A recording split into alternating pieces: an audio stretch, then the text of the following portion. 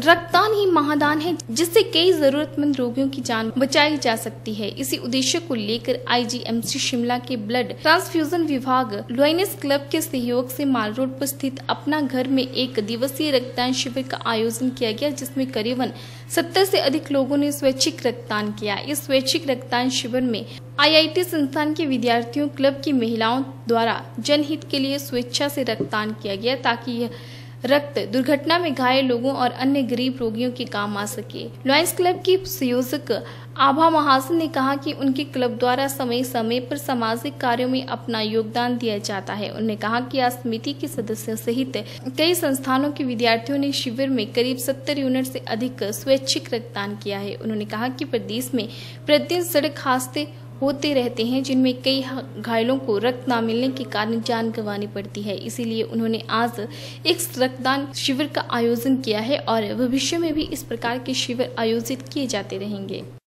Lioness club Solan ने आज विश्व रक्तदाता दिवस के अवसर पर आईजीएमसी के साथ मिलकर यहाँ पर हमने रक्तदान शिविर का आयोजन किया है। जिस पर आज के युवाओं ने बढ़ चढ़कर भाग लिया है, अभी तक 70 यूनिट ब्लड इकट्ठा हो चुका है।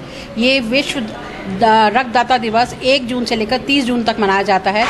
ये रक्तदान महादान कहा जाता है। इस एक यूनिट ब्लड से पता नहीं किसकी ज़िंदगी बच जाएगी, कभी इसकी हमें भी ज़रूरत पड़ सकती है। हम यही सबको कहते हैं कि रक्तदान महादान, इससे बड़ा कोई भी दान नहीं है। तो हमें बढ़ चढ़कर इसमें भाग लेना चाहिए और आज के युवाओं में इसका बहुत जोश देखा जा रहा है।